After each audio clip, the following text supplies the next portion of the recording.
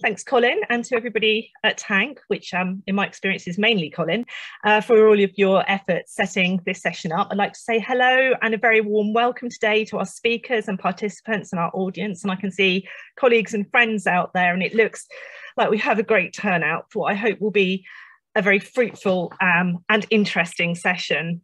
Uh, the motivation for this roundtable emerged out of listening and talking to our speakers uh, and invited participants about their research, the issues they were facing, and how best to carry out the work um, they were doing. And from my own work on provisional semantics and research with artists and makers, with um, people producing and working with museums as institutions, and producing content, reacting and responding to histories through uh, material culture. The themes throughout all of these conversations was often about what stops us from making change and why don't museums museums specifically do better. The answers which arise over and over are about power dynamics, institutional control, and essentially, as the title of today's event asks, who owns what? So in the Eventbrite um, thingy, we had several questions, provocations. Um, how can museums and heritage organisations ethically and sustainably co-produce and maintain collections knowledge being the key one? So as Colin said, I'm Ananda Rutherford and I'm Research Associate on the TaNC project Provisional Semantics, addressing the challenges of representing multiple perspectives within an evolving digitized national collection, which is funded by um, uh, the TaNC towards the national collection thread of um, the AHRC. At the core of provisional semantics is the interrogation of how museums and heritage organisations can work ethically and sustainably with key stakeholders and audiences to co-produce research on collections they hold, and what prevents this from happening equitably. These issues are particularly pertinent to the TaNC programme and the exploration of a digital national collection. I'm going to briefly set out what we're doing today and who's doing what. Um, so as I said, the main question is how do we do this work ethically and sustainably? Um, contrary to the order I set out on the Eventbrite, we're actually going to kick off with me uh, in discussion with JC Niala to explore the issues and barriers that arise with physical, virtual and digital access and use when working with museum held art and artifacts and their source communities through her research and her work practice. We'll explore the expectations and requirements on both sides and how the traditional museum continues to operate in power in terms of authority, ownership, and even in how openness is operationalised. The second session is a presentation from Andrea Wallace and Mathilde Pavis. Their presentation will answer the same question, but through the lens of the law. They contend that when the law is misunderstood or misused, we get the impression that the law gets in the way of doing things right and that is ethically caring for a collection, giving communities, although I would challenge the word giving, uh, genuine agency and opportunities for co-curation and engagement rights, legal obligations, or legal liabilities are perceived as preventing collaborative practice or decentralized approaches to collections management and we all need help with that. We then have four brilliant invited participants whose work addresses many of the issues raised and I hope um, they're going to briefly share their experiences, react to the things we've raised, uh, their reflections, critiques and perhaps further questions or provocations. We'll then open up to questions from the audience the emphasis today is less on how do I sort out copyright for this artifact and more what actually happens when I try and ask people engaging and researching and responding to objects in the collections, when I want them to sign contracts, agree to terms and conditions and legally own or control access to tangible and intangible knowledge and artifacts. So the first thing is me and JC. And there she is. So I'm going to introduce JC. JC is a researcher, curator, and honorary research associate at the University of Exeter, and someone I greatly admire. I met her in her role as acting keeper of anthropology and African collections researcher, but JC wears many hats and has a broad and fascinating range of interests. She's currently working on tracing Nubian archives through time in the Kenya and the UK, part of the Imagining Futures project that sees archives as negotiations about visions of the future, which we're hopefully going to hear a bit about. She works to open up African collections held in European museums using community action research, which again, I'd like her to elucidate us more about. JC facilitates processes that support community members who develop creative inter interventions and outputs from the research that they carry out within heritage institutions. So we're going to focus on two of her recent projects, rethinking relationships and building trust around African collections. I should say welcome, JC. say hello. um, at the Horniman Museum in South London, which ran from 2019 to 2021 to address some of the questions in this discussion. The project involved research on Kenyan and Nigerian collections across the Horniman, Pitt Rivers, Museum of Archaeology and Anthropology in Cambridge and the World Museum, Liverpool. That's quite a selection. In parallel to rethinking relationships, she was also coordinating a community action research project at the Horniman. And this project trained, supported, and facilitated community members to carry out research of their own interests on the African and Caribbean collections at the Horniman. The outcomes of this project included, amongst other things, creative responses to the collection and changes in museum practice and policy to serve communities better.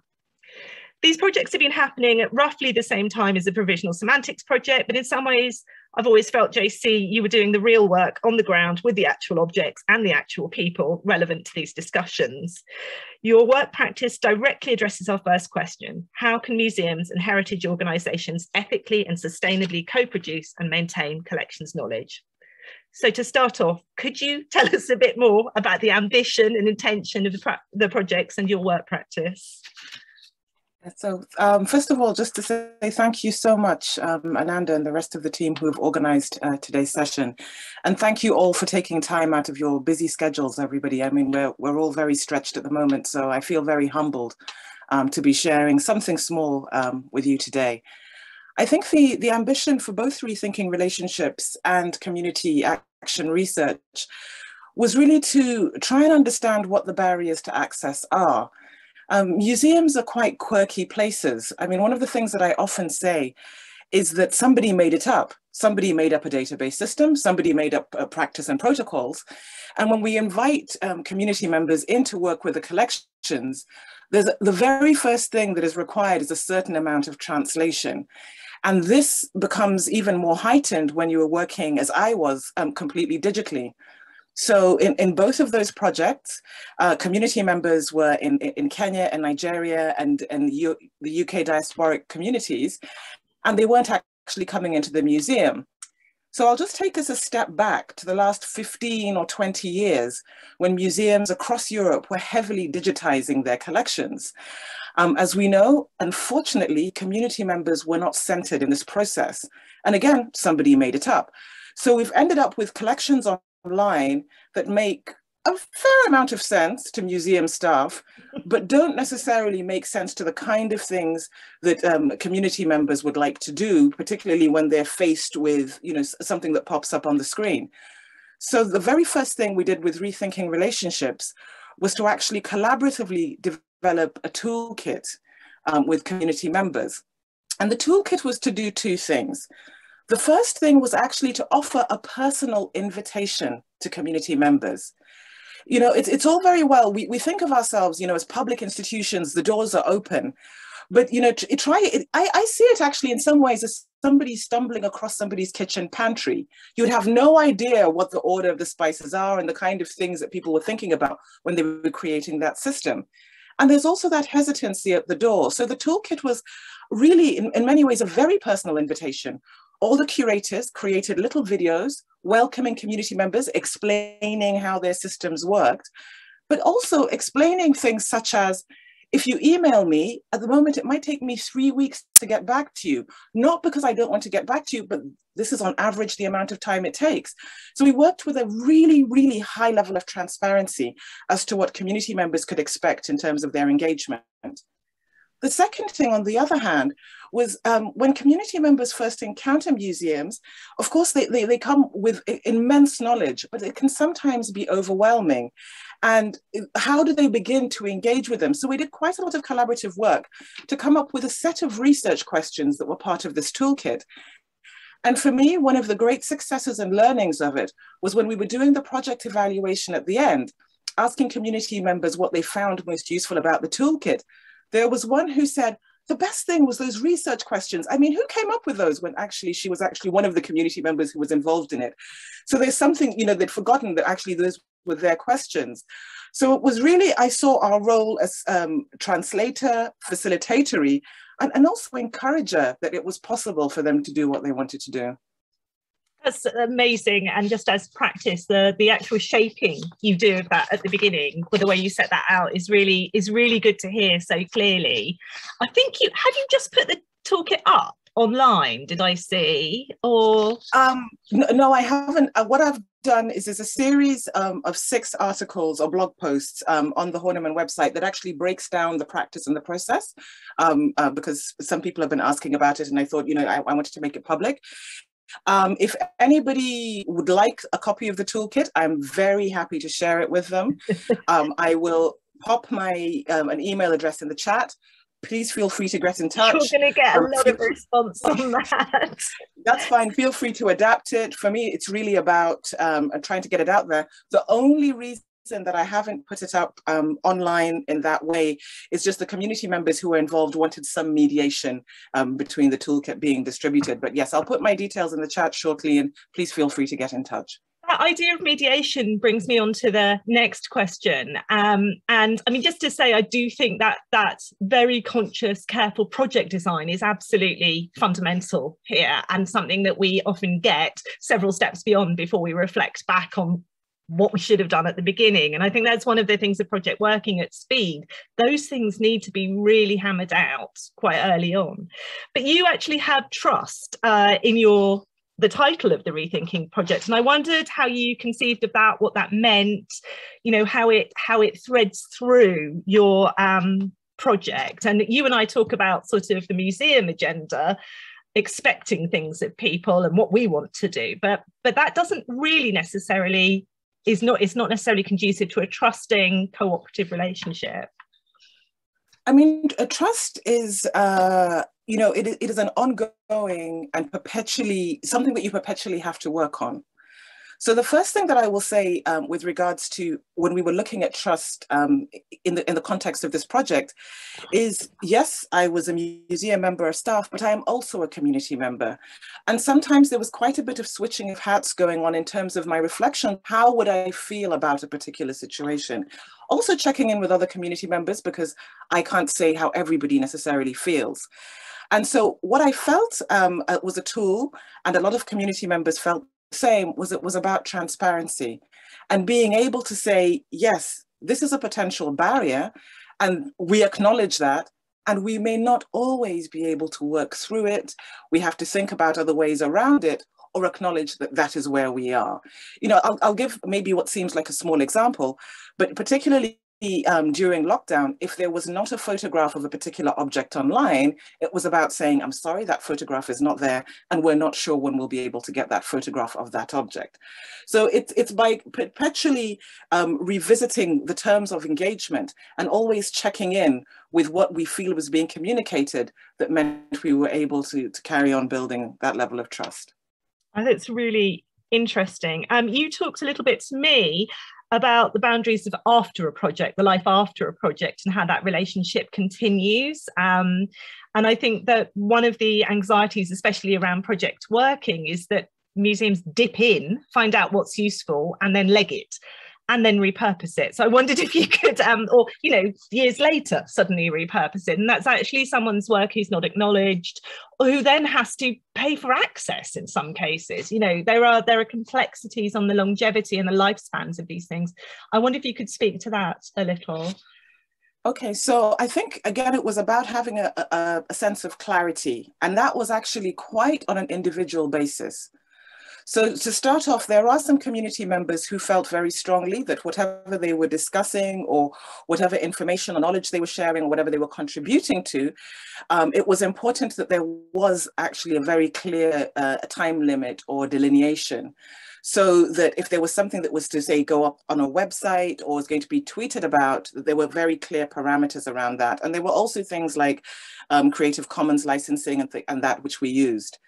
On the other hand, you did have certain community members who I thought was it was fantastic that they saw the museum as a conduit to be able to reach a large audience and to reach um, other people in their community. So there's a, um, a very inspirational community member who I um, who comes to mind on that note. Her name is Sharon Barlow Massey, and Sharon had an incredibly clear vision even before the community action research project started that what she wanted to do was reach diasporic community members with her work and she saw the Horniman Museum as a bouncing off point to be able to do that. And true enough, the resources that she created in collaboration with the Horniman were so well done that she was then picked up by Art UK and has reached even beyond what she had initially hoped. So it, it's really about looking at expectations, um, but also the other thing as well is thinking carefully about the responses because sometimes community members may want even a time limited platform but there's a very delicate dance. People coming to, say, for example, a museum website will assume that a community member has the same kind of resilience and infrastructure as the museum that is sharing their work. And um, a big learning for me, um, it was in one situation where there was a community member who put up an, an essay that was, was in some ways quite a provocation, and there was indeed quite a strong response. And I personally had to spend a lot of time speaking to the people who are responding on behalf of the community member and vice versa. So these were when we had further iterations of the project, build in systems that allow for training and allow for community members to also understand the parameters when they are working through museums and using their particular platforms. I think that's really important and a really important thing to recognise actually, because I think that within museums, we can be quite casual about involvement as the next project occurs, as the next bit of work occurs, as the flood in the basement occurs, and um, suddenly our real work um, is is predominant. And I, I think that is habitual. And then it gets hived off to other departments to the learning department to deal with. But actually responsible curating when you've explained it, you should be able to maintain those things. So I think that's a really, really crucial point about this. You know, who does it belong to? Well, you know, it may be in trust, but we are facilitating. A lovely i love what you said about museum as a bouncing off point. You need to allow that bouncing to occur but also manage risk and be safe. Safe about i'm thinking about bouncy castles now. But, so, but also just to when you talk about who it belongs to um, one of the the biggest things that i learned through this process is it actually belongs to the whole museum so, and in collaboration with the community members. So practically how that worked, when we did the training um, for community action research, the second iteration, they had training from virtually every department within the museum. So it meant that they understood what was happening in conservation. It meant they understood what was happening with the digital team, which may seem on the outset of it, why is that necessary? But what it meant by the end of the process was that the entire museum structure was invested in the work that was going on. And it meant that there were many points of contact. And it also meant that it wasn't down to two necessarily individual relationships, but it meant that there was a whole network of relationships that community researchers could tap into at any given point no i think that's i think that's really pertinent as well. I should think though many staff members could do with that. I don't know what other departments do quite often. Um, I, I, think that clarity of explaining yourself as transparently as possible when we just assume people want us to digitize our collections people just want it and they'll be interested in what we're interested in. I think what you're unpicking there is really um, fundamental so bringing it back a little to the digital and IPR and things, I wondered if you could speak a little about whether the digital hindered or helped you. And I know it's always a question of both, you know, it's a poison chalice and also a great gift. Um, and we often focus on access, but if you can also, and that is problematic, both in terms of connectivity, um, you know, access, actual literal access to during the pandemic, but also in terms of controlling those things. You spoke a little bit about it in relation to um, to uh, people's roles and expectations, but I wondered if you could talk, because you said very accurately, I thought about the museum online offer. it's quite, it's very well digitized sometimes. Well, I mean, it, it, there's a wonderful Kenyan expression that there is no otherwise, and we had no otherwise. We had to work digitally. Um, so, in a sense, I don't really know. Well, to be fair, rethinking relationships started in person, and we did actually have a lot of face to face and in person. But um, community action research ran completely digitally. What I would say that it helped with was we had to think of things like IPR and how we managed things digitally from the outset because we were all, that was already the medium that we were in. So mm-hmm. that was that was incredibly helpful um, how it was also helpful, um, and this is one of the things that actually profoundly moved me, to be honest, through this process, was that because we were digital, the museum suddenly became a space for togetherness and for bringing people together rather than a site of separation, as museums often are. Because we could have diasporic community members from across the UK with community members from Kenya and Nigeria all in the same Zoom room and suddenly it allowed for a flexibility of interaction. And again, coming back to the museum staff, who, yes, many did really enjoy also finding out what was happening in other departments, we could all be in the same room together. And actually, for a moment, if I could ask you all to have a look at the Zoom screen, I'm just going to be silent for about 10 seconds and just, just take that in for a moment.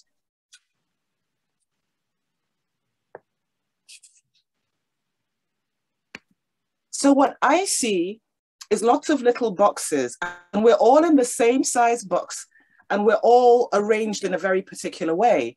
If you arrive at a museum for a, a, project that is in, in real life and face to face, very often the person who may be handling it will be standing up and everybody else is sitting down. There's automatically, uh, you know, a distinction. You're walking around the museum people who know them are saying hello to them. There's again another distinction or a separation.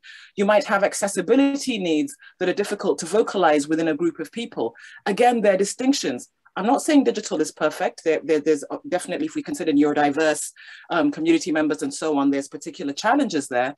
But the starting point of all being in the same size box so it didn't matter when we had gatherings where there was, uh, you know, the museum director or CEO, they were in the same size box as, uh, say, somebody who was working front of house and the community member and myself. And, the, uh, you know, I, I'm still thinking about what, the, you know, there's a certain democratization that happens purely from this setup, you know, despite the challenges that it may have. It's interesting. I think, yeah, that's very positive, JC, with the general complaining about Zoom rooms. Um, I, am an I'm an irritating optimist. I should uh, should have warned you. Um, I wondered if you could say, you see, I really want you to actually talk about the bad stuff. What were the barriers? You know, what what stops you? I mean, especially institutional, because I know that you're practice is now informing more of the Horniman's work in how that they engage, it spawns other projects. But what did you come up against in terms of institutional misunderstanding, misappropriation, you know, contractual stuff? I have to say the irony of actually getting you guys, the speakers and participants, all signed up and what's actually in the contracts is it is slightly embarrassing um you know with permissions and things. But you have to go through that with community members. Now and i know you're going to say transparency again but actually before andrea and mathilde talk about the legal aspects is i wonder what the practicalities have been. The other thing is you and i talk about workarounds as curators and and i'd like to hear about your workarounds and what you make possible Okay, I'll, I'll, I'll tell you a, um, a, a, major hurdle institutionally, and that's, um, that's to do with the fact that actually museums are public institutions. So there are certain accessibility things around, and I'm going to get, get, you know, really this is on the ground stuff to do with, say, for example, subtitling, to do with um, languages that um, have to be available so that if, you know, a member of the public is to watch the video, etc. To be honest, that was one of the biggest challenges because what we had said in both Rethinking Relationships and Community Action Research was do whatever you want, have whatever creative response you want, and we'll get it online. I cannot tell you how many hours, days, weeks, months I spent doing trying to actually make that happen and sometimes it didn't work. So i'll give you a very clear example. We were working with a, a nubian community um, and they're a stateless uh, community as a result of a colonial legacy and so one of the things that was very important for them in their methodology is that their videos were in uh, Nubi, but they, and the subtitling only had certain translations so that not, because they were really again that bouncing off point they were mainly speaking to other nubian people rather than the general public. Unfortunately, we were just not able to get that video um, onto the Horniman website because of all of you know the legalities and the practicalities of, of being a public institution, what had to be met in terms of um, accessibility and, and so on. So that was a really, you know, that was a really big learning curve as to where we where we hit um, some of those, you know, and those are hard barriers. There, there was there was no workaround with regards to this one because if we had to fully translate the video, it would have meant that we were not honoring um, the community's wishes in terms of how that video operated. Um, but at the same time, there was no way it could go up in the form that it was. So, so sometimes it's about actually just realizing, okay, what happens in that instance is we realize what the strictures are with regards to working, and it means that there are things that we can't do.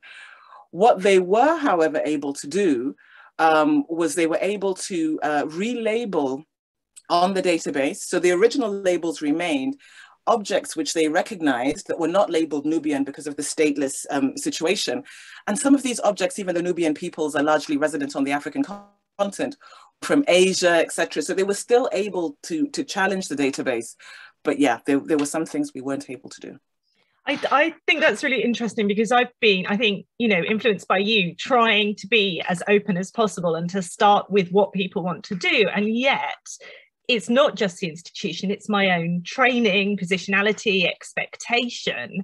And then you get to institutional digital limits. And then you re- remediated other people's work and that's problematic sometimes to the point you can't use it i think that's that's a really crucial point actually about both access openness and owning that you you own something too difficult to share i don't know how we deal with that when it's so rich as well but maybe some things are only for some people and i think possibly shelley might talk to that later so I think um, I wanted to know what success looked like. Um, you're optimistic. So many of these things feel like they don't have any legacy. They don't, you know, they don't last. You know, is it making change? Is it presence, representation? Is it a feeling of ownership that is holistic and not separatist? Is it, you know, what what do you think success looks like? What did it look like in your in your projects and perhaps your latest project, the archive, um, the Nubian Archive project? Okay, so um, in the interest of time, I'll keep it brief to just the, sure. to one example from each.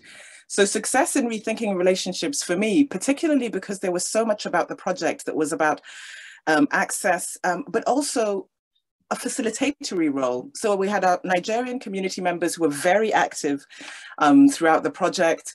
Um, and what happened was uh, a lot of museum staff, you, you know, with, they worked with, with the toolkit, everything was great. And a lot of museum staff wanted to meet them and said, let's have workshops between Nigerian community members and, and you know, the four uh, museums participating, the staff. And the Nigerian community members said, no, thank you very much. We've got everything we need. We've, we've got everything that we want to do they wrote some blog posts about their experience of the project, but they were like, we're not really interested. And I thought, yes, they did everything that they wanted to do um, and were able to work with the collections how they wanted to, but did not feel obligated in any other way. And I thought, that's a level of trust to be able to say, I appreciate your project, but I don't feel like we have to be best friends forever. That's really, it was, it was very, it was very um it's, yeah i was excited about that. no it is that's very freeing and and a, and a view of ownership that perhaps we can we can let go of the holding on quite so much. I think that's a really interesting model. Um the, the last question for me and we've got i think we've still got uh, three minutes is just um, your ambitions for the future. How can we do better? What do we need in museums? Um, I love your idea of, I mean, everybody always wants a toolkit, but one that actually models transparency, explanation seems less like a toolkit and more like just best working practice, um, not working from a set of assumptions that we know best. Um, but I, I wondered what your you you've talked to me before about the unexpected, the unplanned, and, and serendipity in these things, and being able to facilitate that. So I wonder what your am- ambitions were, perhaps around funding or. Yeah, I mean, I think it would be just incredible if um, if every project just had a little bit of leeway to to do something that was not expected. Another barrier we faced is community members really want really wanted to do an online exhibition that they curated. Um, so it wasn't covered in the funding for the budget. I tried really hard. I had three rejections um, for funding applications. So I was again, it was something else I wasn't able to to make happen. But in terms of what's exciting for me um, in Visions of the Future, to come back to the, the Nubian community members, we're now working on a different archival project and they are able to fully work in Nubi, which is just absolutely wonderful. So everything that they're doing is in Nubi. Um, when I'm in workshop meetings, I get a bit of translation that they feel is appropriate for me to get for us to be able to do our work together but it's again it's very exciting for me to be part of a process um, supporting what they want to do. And quite frankly i probably know only about 80% of what's going on. So yeah.